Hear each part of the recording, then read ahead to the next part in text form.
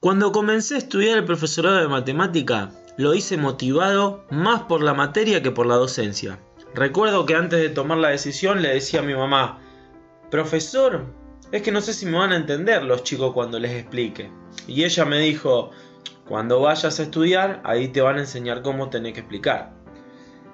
Esa conversación la recuerdo como si fuera ayer, y fue hace ya 15 años.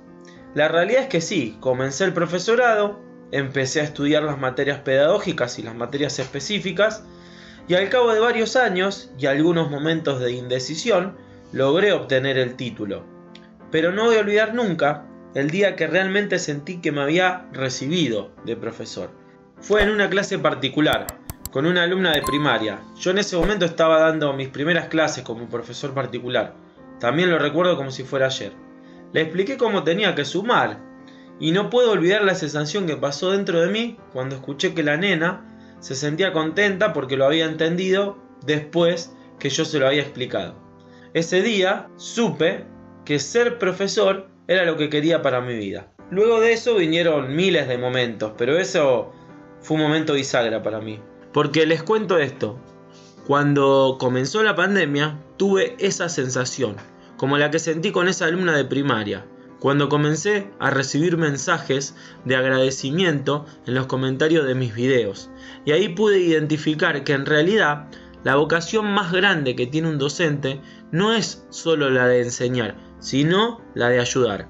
Cuando creo mi canal de YouTube, lo creo para ayudar al que lo necesita, gratis, sin que tenga que pagar más que su internet doméstico, y ayudar para mí está por encima de cualquier otra cosa.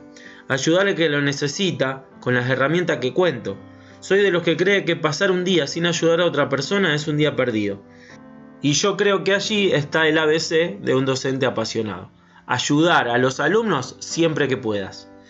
Pero Después, empiezo a notar que hay algo más, que me siento feliz haciendo lo que me gusta, enseñando lo que sé, ayudando al que lo necesita, pero en el fondo empiezo a sentir que no alcanza, que solo ayudarlo a entender un tema o resolver un ejercicio es algo pasajero en realidad.